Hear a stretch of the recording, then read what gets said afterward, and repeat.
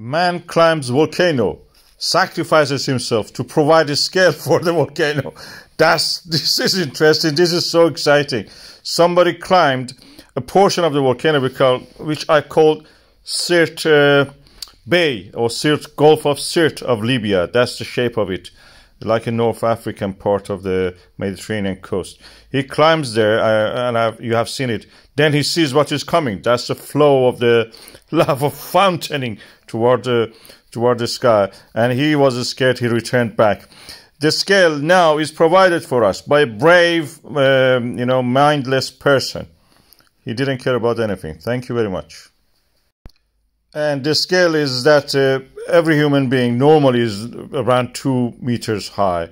So the height of that part of the wall is actually around, uh, yeah, let me tell, 50 meter or more, 50 to 60 meter, uh, which is true compared with what we already knew.